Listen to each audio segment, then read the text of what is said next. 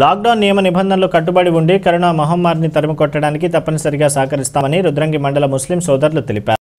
పవిత్ర రంజాన్ మాసం ప్రారంభమైన సందర్భంగా రుద్రంగి మండలం ముస్లిం సోదరులు కేంద్ర రాష్ట్ర ప్రభుత్వాలు విధించిన లాక్డౌన్పై పోలీసులు చెప్పిన సూచనలకు కట్టుబడి ఉంటామని మండల కేంద్రానికి చెందిన షాదుల్లా మరియు బాబాలు తెలిపారు. ప్రతి సంవత్సరం రంజాన్ పండుగను ఘనంగా జరుపుకుంటామని కానీ కరోనా వైరస్ నేపథ్యంలో ఎవరి ఇళ్ళలో వారే ఉపవాస దీక్షలు ప్రార్థనలు చేసుకుంటున్నామని తెలిపారు.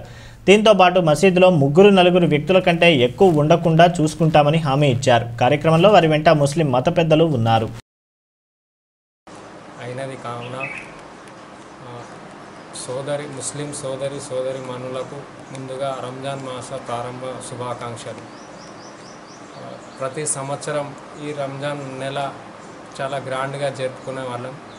కాబట్టి ఈరోజు ప్రపంచ వ్యాప్తంగా వన్ కరోనా వ్యాధి వ్యాపిస్తుండడంతో మన భారతదేశం మన ప్రధాని మరి మన రాష్ట్ర ముఖ్యమంత్రి గారు మరియు మన రుద్రంగి మండల ఎస్ఐ గారు ఇన్స్ట్రక్షన్ ప్రకారం మన రంజాన్ నెల మాసం ఈ కరోనా సందర్భంగా లాక్డౌన్ సందర్భంగా మేమందరం ఆ, ఎవరి ఇళ్ళల్లో నమాజ్ చేసుకుంటున్నాం. మరియు మసీదుల ప్రభుత్వం ఆదేశాల ప్రకారం ఐదుగురు కన్నా ఎక్కువ నమాజ్ చేయకూడదు అని ప్రభుత్వం చెప్పడం జరిగింది. దానికి మేము కట్టుబడి ఉన్నాం. మేము ఫిర్యాదు చే మేము కోరుకున్నది ఏంటంటే ఈ రంజాన్ నెల ప్రా మాసం ప్రారంభమైంది.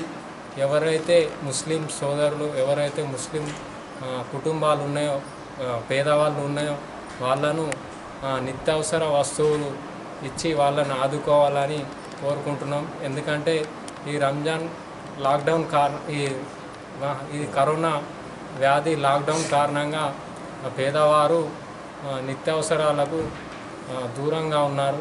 కాబట్టి వాళ్ళను ప్రభుత్వ అధికారులు స్పందించి వాళ్ళకు నిత్యావసరాలు పంపిణీ చేయగలరని మేము ఈ సందర్భంగా కోరుకుంటున్నాం.